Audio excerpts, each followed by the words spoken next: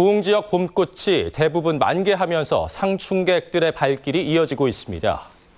고흥군에 따르면 고흥만 방조제 주변 3.5km를 중심으로 벚꽃이 절정에 달해 나들이 인파들로 붐비고 있으며 특히 우주발사 전망대 주변 3만 제곱미터의 다랑이 논에도 유채꽃이 장관을 이뤄 봄꽃 단지로 각광을 받고 있습니다.